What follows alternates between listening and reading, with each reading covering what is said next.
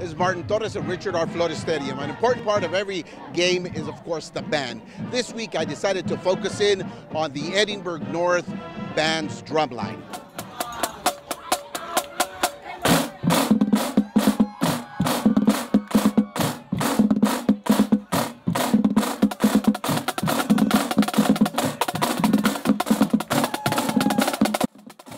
It's been really phenomenal this year. We've been putting in crazy amounts of work. We've been meeting in the mornings, after school, like you name it, we're here.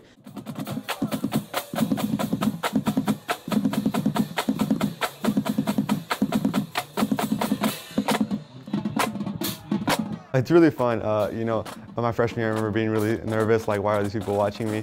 You know, but but you get used to it, and you you know you grow confident in that into that role. That okay, this is my job. You know, I'm here, and everybody loves the drum lines.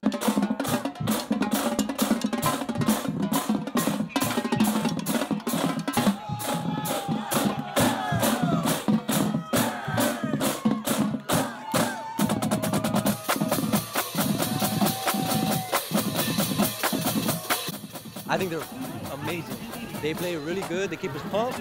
They make me like, I, when I hear them, I get like jumped up and I'm, I'm ready. I'm ready for the game.